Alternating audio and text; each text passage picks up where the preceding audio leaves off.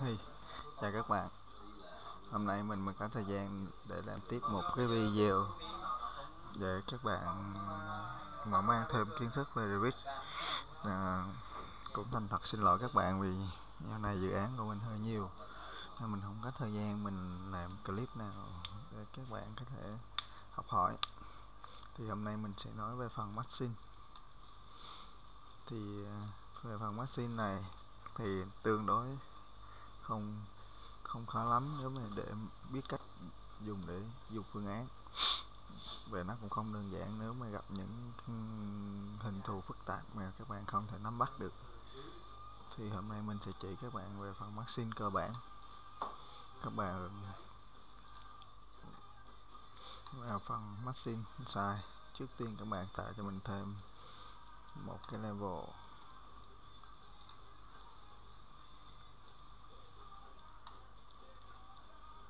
bạn tạo cho mình khoảng 10 cái level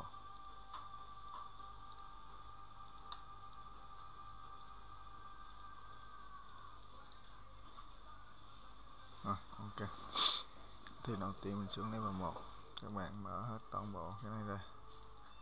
Các bạn đưa ờ, level về. Rồi, xong. Thì đầu tiên các bạn xuống level 1 các bạn có thể bây giờ mình có thể dần một khối công đầu tiên. Cái vuông vức mình xác định grid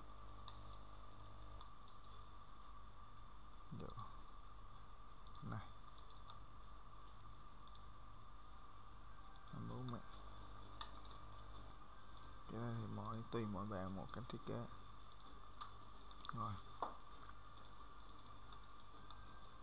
ok rồi vaccine inside display max ok.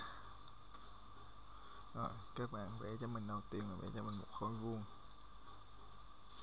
Đơn giản như thế này. Rồi. Rồi, các bạn ra BD các bạn làm vào khối vuông đó. Các bạn click form hoặc là chọn soi from. Và các bấm click form rồi. Các bạn kéo thẳng cho mình lên tầng 10 à. thì tại sao mình nói finish? Thì tại sao mình nói tiện lợi? Nếu như một khối vuông bình thường này mình có thể dựng tường chạy lên rất là nhanh. Nhưng mà mình sẽ tạo ra được các floor mat floor. Các bạn tạo từ level 1 đến level 10 ok. Thì các bạn sẽ có những cái sàn như thế này. À, các bạn sẽ dễ hình dung cái khối của mình và các bạn có thể làm phương án rất là nhanh từ cái khối này. Cái đây là một khối vuông rất là đơn giản. Các bạn nào muốn thêm tường thì chút nữa mình sẽ nói về vấn đề sau. Cách thứ hai và tại sao mình nói là dựng machine là nhanh? Các bạn phải hiểu rằng machine nó dùng để làm gì, về tại sao nó nhanh thì để số chưa có câu trả lời chính xác lắm.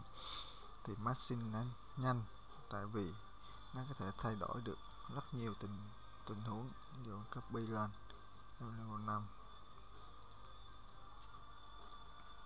bóp vòng tròn mình nhỏ lại, ví dụ vậy. Level 6 level 10 bắt này nè. Rồi. Các bạn chọn mu bé hình tròn lên rồi.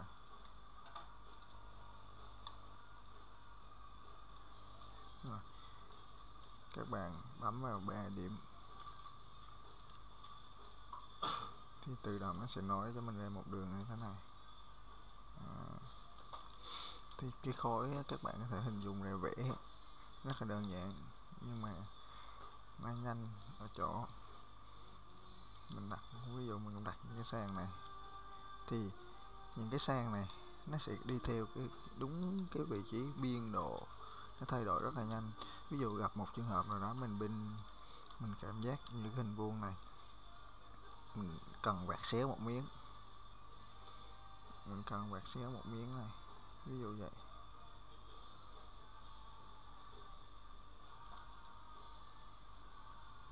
Rồi. mình cần voi đó.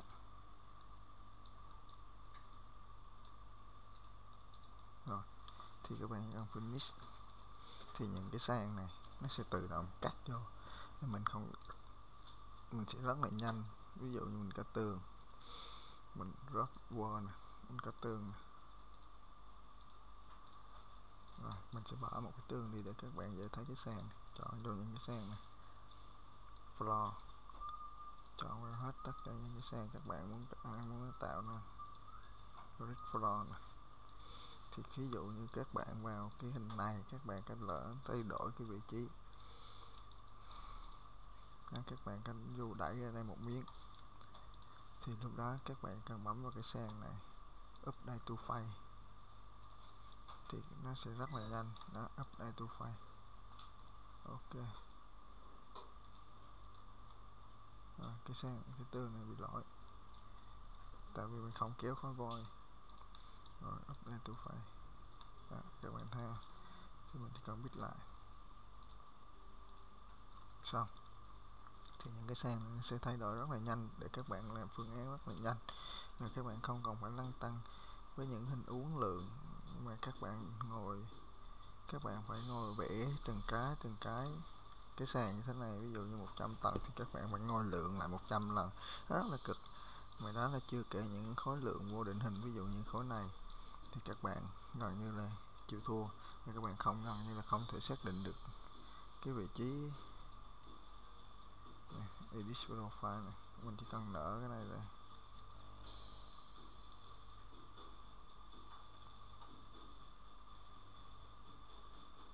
ví dụ vậy.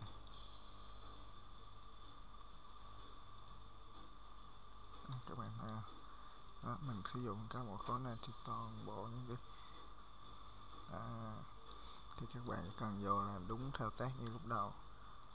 À, wow. à. các bạn thấy không? Thì mình đã wifi cho các bạn dễ nhìn. Rồi chọn hết tất cả những cái sàn. Bấm floor chọn hết tất cả những cái sàn các bạn muốn nó là cái sàn gì đó. Grid floor. Đó, mình tạo ra những cái sàn này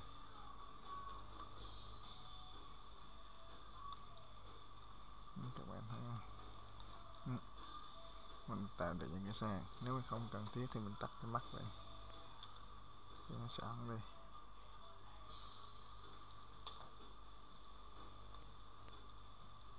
Okay.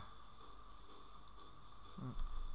đây là toàn bộ những cái gì mà người ta nói dùng machine sẽ nhanh. Và các bạn cần phải biết nó nhanh ở điểm nào và nó tạo khó như thế nào. Thì đây là bước cơ bản để các bạn tạo nên một cái công trình như ý muốn. Mình để thay đổi phương án rất là nhanh. Ok.